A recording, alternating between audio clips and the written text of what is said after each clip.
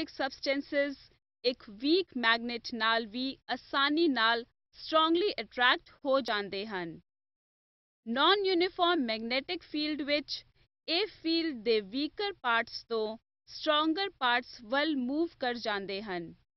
ਜੇ ਇੱਥੇ ਦੋ ਮੈਗਨੇਟਿਕ ਪੋਲਸ ਦੇ ਵਿਚਕਾਰ ਇੱਕ ਗਲਾਸ ਪਲੇਟ ਰੱਖੀ ਹੈ ਅਤੇ ਪਲੇਟ ਵਿੱਚ ਫੈਰੋਮੈਗਨੈਟਿਕ ਸਬਸਟੈਂਸ ਦਾ ਪਾਊਡਰ ਸਪ੍ਰਿੰਕਲ ਕੀਤਾ ਜਾਵੇ ਤਾਂ ਤੁਸੀਂ ਦੇਖੋਗੇ ਕਿ ਫੈਰੋਮੈਗਨੈਟਿਕ ਸਬਸਟੈਂਸ ਪਲੇਟ ਦੀਆਂ ਸਾਈਡਸ ਵੱਲ ਸ਼ਿਫਟ ਹੋ ਗਿਆ ਹੈ, ਜਿੱਥੇ ਮੈਗਨੈਟਿਕ ਫੀਲਡ ਸਟਰੋਂਗ ਹੈ।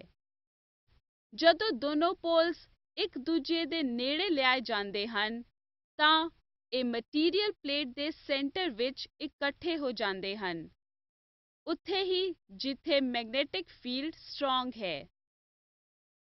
ਫੈਰੋਮੈਗਨੈਟਿਕ ਮਟੀਰੀਅਲ ਦੇ ਕਿਸੇ ਸਪੈਸੀਮਨ ਨੂੰ ਮੈਗਨੇਟਾਈਜ਼ਿੰਗ ਫੀਲਡ ਵਿੱਚ ਰੱਖਣ ਤੇ ਉਸ ਵਿੱਚ ਲਾਈਨਸ ਆਫ ਫੋਰਸਸ ਇਕੱਠੀਆਂ ਹੋ ਜਾਂਦੀਆਂ ਹਨ। ਇਸ ਤਰ੍ਹਾਂ ਸਪੈਸੀਮੈਨ ਦੇ ਅੰਦਰ ਮੈਗਨੈਟਿਕ ਇੰਟੈਂਸਿਟੀ ਨਾਲੋਂ ਮੈਗਨੈਟਿਕ ਇੰਡਕਸ਼ਨ ਕਿਤੇ ਜ਼ਿਆਦਾ ਹੋ ਜਾਂਦੀ ਹੈ।